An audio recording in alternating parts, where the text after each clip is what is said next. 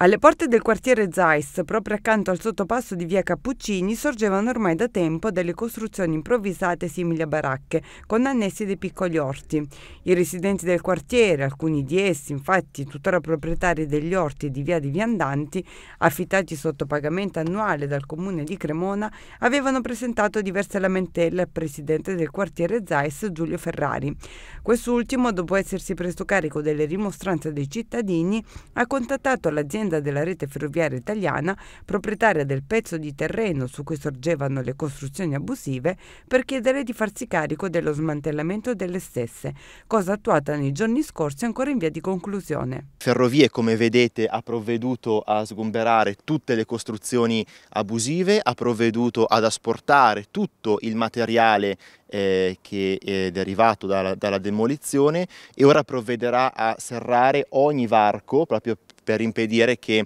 in futuro altre persone si possano eh, insediare in un'area ferroviaria. Siamo consapevoli del fatto che sono presenti alcuni orti abusivi eh, dal lato opposto alla ferrovia, quindi di fronte agli orti urbani regolari. Per quanto concerne gli orti abusivi sono su area privata,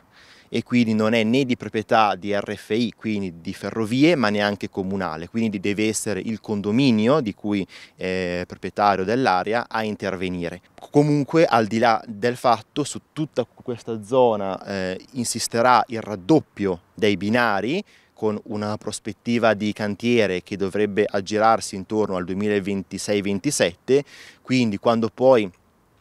inizieranno le eh, fasi di cantierizzazione per quanto riguarda il raddoppio della linea ferroviaria, si metterà anche lì una parola eh, fine definitiva alla questione orti abusivi.